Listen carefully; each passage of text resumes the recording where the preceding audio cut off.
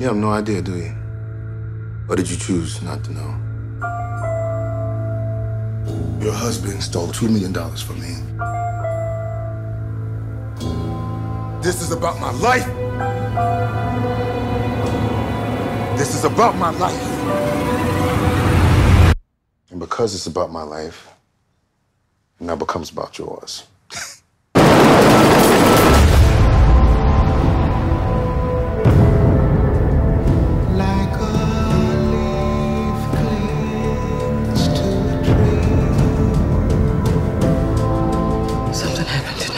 Bad.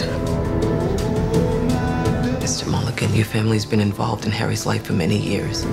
I need help. I don't see what I can do. Our husbands aren't coming back. We're on our own.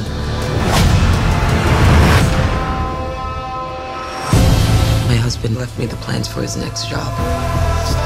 All I need is a crew to pull it off.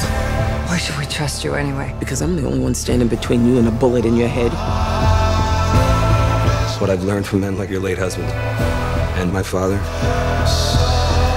is that you reap what you sow. Let's hope so.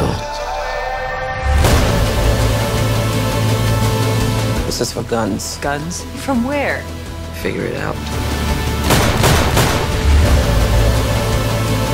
This whole thing goes wrong, I want my kids to know that I didn't just sit there and take it. I did something.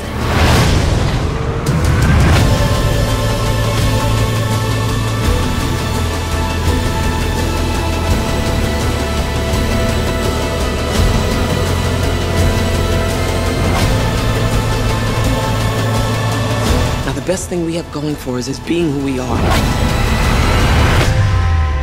Why? Because no one thinks we have the balls to pull this off.